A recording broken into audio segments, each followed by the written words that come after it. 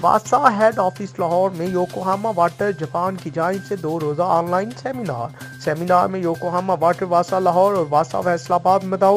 M D واسا سید زاہد عزیز نے بطور سربراہ واسا لاہور کی نمائندگی کی. پانی کی ترسیل ویسٹ واٹر مینجنگ اور فلنگ کے شعبوں میں بہتری لانے پر گفت و شنید. سیمینار میں مذکورہ اداروں کا آپس میں تکنیکی معاملت پیش کرنے کا عزم.